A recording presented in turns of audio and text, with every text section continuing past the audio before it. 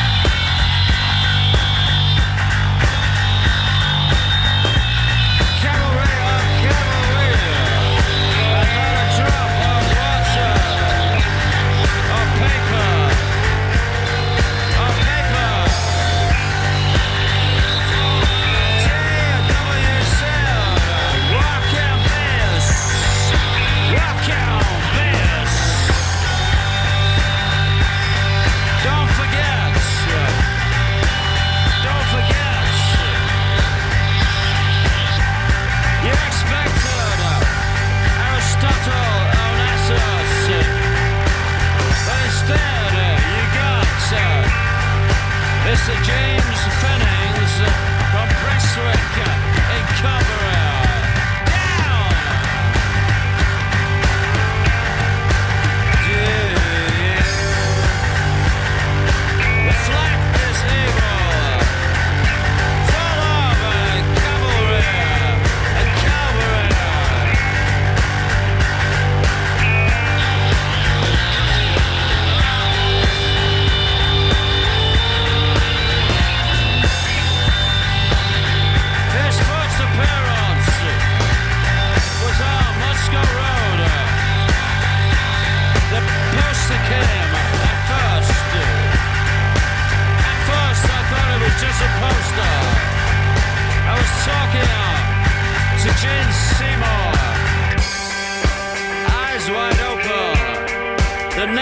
was slightly uh, dislocated.